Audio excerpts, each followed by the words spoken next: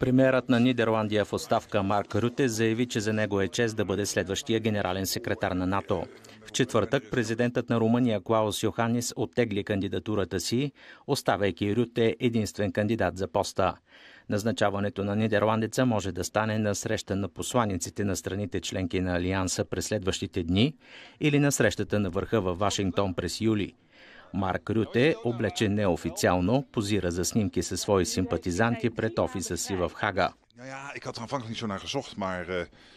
Първоначално не търсех тази работа, но с всичко, което се случва в Украина и нестабилността в света, си помислих, че не мога да пренебрегна тази възможност. Разбира се, това е невероятно интересна позиция.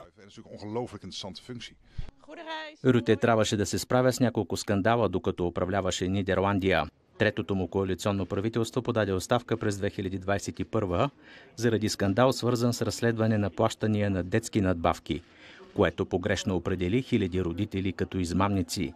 Но само месеци по-късно той изведе своята Народна партия за свобода и демокрация до победа на изборите и създаде четвърта и последна коалиция от същите партии, с които управляваше и преди.